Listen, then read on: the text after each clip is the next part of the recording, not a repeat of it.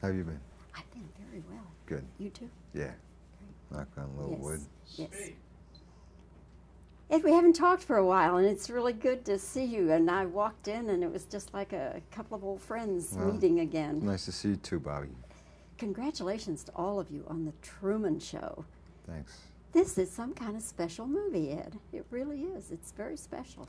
I think so too. I'm glad you feel that way. When Yeah. you first read it, uh, were you reading with this role in mind, or what? Mm-hmm. Yes, very specifically. Um, they'd actually already been filming for quite a while before I even read the script, and um, I was asked if Peter. I was told that Peter was interested in me playing Christof, and read it and went to meet Peter, and uh, it was kind of a last-minute kind of deal. And I was intrigued, totally, a little scared, a little intimidated by playing this guy, but uh, very eager to work with Peter because I've always had the greatest respect for him as a filmmaker. And you can see why when you see this movie, or any of his films. Absolutely. Your character, of course, is the mastermind behind the, the Truman Show, which is going on for 30 years. I don't know why I laugh when I say that, but 30 years, the same show. Um, Well, it's laughable. uh, but um, uh, what is what is his agenda? Well, that's a really good question. I think his agenda initially was to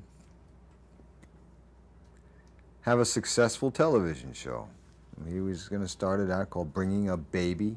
His company adopted an orphaned boy. It was a 24-hour thing, seven days a week, where people can tune in and watch this child whenever they want, going through his first year of life. And uh, I think it's grown over the, over all these years into something where his agenda is. It's not even an agenda anymore. It's his life. I mean, it really is his life.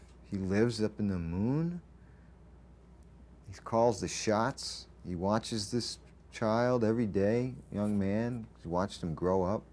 Cares deeply about his welfare, I believe. And it happens to be a television show that a lot of people watch. I mean, he's a consummate, they call him a televisionary in the movie, and that's like a good word for him. It's a frightening concept, though, because Yeah. we have some of that going on right now. We never know where the cameras are hidden. You know, you, you go into all kinds of different places, there are hidden cameras. And, uh, uh, and it's probably going to get worse as time goes on. Yeah, I don't see it getting any better real soon. No, no, nor do I. So, um, you know, it gives you a lot to think about. Yeah. What, what kinds of conversations did you all have when you were making the film? Well, we didn't really have conversations on that level, you know.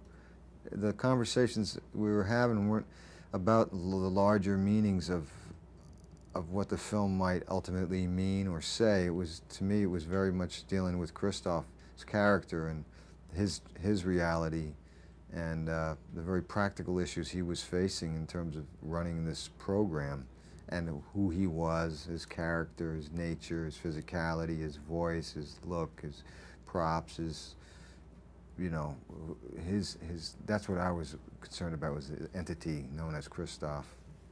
As your role progresses and we get down toward the end, Ed, you have a couple of scenes that are absolutely, they're just dynamite. And uh, uh, did you shoot that in sequence or were you hopping all over the place? I think it was actually somewhat sequential because we were in a very controlled environment in there in the in the soundstage in the control room, and it was it was pretty oh, yeah it was pretty much sequential.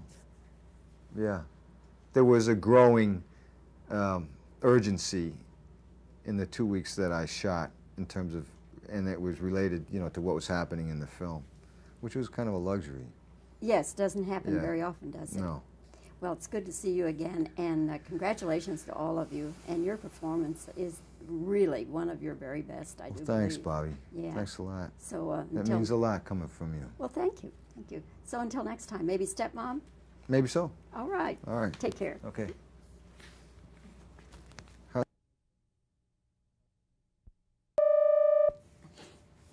How have you been? I've been very well. Good. You too? Yeah. Knock on a little yes. wood. Yes. Ed, we haven't talked for a while, and it's really good to see you. And I walked in, and it was just like a couple of old friends Well, meeting again. Nice to see you too, Bobbie. Congratulations to all of you on the Truman Show. Thanks. This is some kind of special movie, Ed. It really is. It's very special. I think so too. I'm glad you feel that way. When you first read it, uh, were you reading with this role in mind, or what? Mm-hmm. Yes, very specifically. Um, they'd actually already been filming for quite a while before I even read the script, and um, I was asked if Peter. I was told that Peter was interested in me playing Christof, and read it and went to meet Peter, and uh, it was kind of a last-minute kind of deal.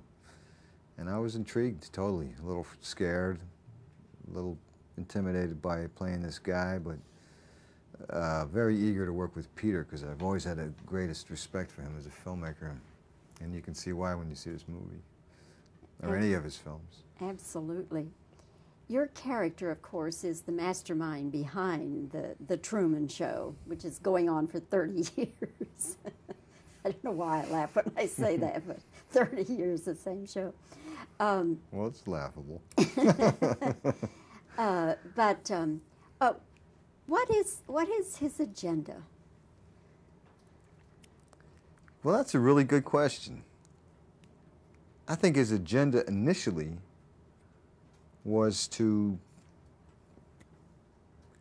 have a successful television show. He was going to start it out called Bringing a Baby. His company adopted an orphaned boy. It was a 24 hour thing, seven days a week, where people can tune in and watch this child whenever they want, going through his first year of life. And uh, I think it's grown over the, over all these years into something where his agenda is. It's not even an agenda anymore. It's his life. I mean, it really is his life. He lives up in the moon. He calls the shots. He watches this child every day, young man. He watched him grow up. Cares deeply about his welfare, I believe. And it happens to be a television show that a lot of people watch. I mean, he's a consummate, they call him a televisionary in the movie, and that's like a good word for him. It's a frightening concept, though, because Yeah. we have some of that going on right now. We never know where the cameras are hidden. You know, you, you go into all kinds of different places, there are hidden cameras. And, uh, uh, and it's probably going to get worse as time goes on. Yeah, I don't see it getting any better real soon. No, no, nor do I. So, um, you know, it gives you a lot to think about. Yeah. What, what kinds of conversations did you all have when you were making the film? Well, we didn't really have conversations on that level, you know. The conversations we were having weren't about the larger meanings of of what the film might ultimately mean or say. It was to me it was very much dealing with Christof's character and his his reality and uh, the very practical issues he was facing in terms of running this program and who he was, his character, his nature, his physicality, his voice, his look, his props, his you know, his his that's what I was concerned about was the entity known as Christof. As your role progresses and we get down toward the end, Ed, you have a couple of scenes that are absolutely, they're just dynamite. And uh, uh, did you shoot that in sequence or were you hopping all over the place?